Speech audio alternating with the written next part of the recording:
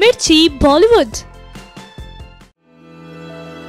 एक पारिवारिक शादी में शामिल होने गई श्री देवी के साथ आखिर उस रात क्या हुआ था? आखिर दुबई की वो रात श्री देवी की ज़िंदगी में सवेरा बनकर क्यों नहीं आ सकी?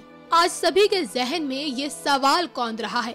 श्री देवी की मौत के बाद शादी का एक वीडियो भी सोशल मीडिया में सामने आया है, जिसमें वो बेहद खुश नज़र आ रही है। वो वीडियो में डांस भी करती दिख रही है। खबर के मुताबिक शनिवार शाम को बोनी कपूर श्री देवी को डिनर पर ले जाने वाले थे जिसके बाद श्री देवी बाथरूम चली गई, लेकिन उसके बाद बाहर नहीं आई। पंद्रह मिनट बाद जब बोनी ने दरवाज़ा खटखटाया तो अंदर से कोई जवाब नहीं आया। बोनी कपूर ने जैसे तैसे दरवाज़ा खोला। जब वो बाथरूम के अंदर पहुँचे तो उन्होंने देखा कि श्री देवी पानी से भरे नहाने वाले टब में बेसुध पड़ी हुई है।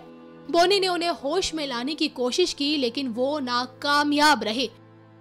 इसके बाद उन्होंने अपने एक दोस्त को वहाँ बुलाया और रात करीब नौ बजे उन्होंने पुलिस को इसकी सूचना दी। पुलिस जब पहुँची तो श्री देवी इस दुनिया को अलविदा कह चुकी थी।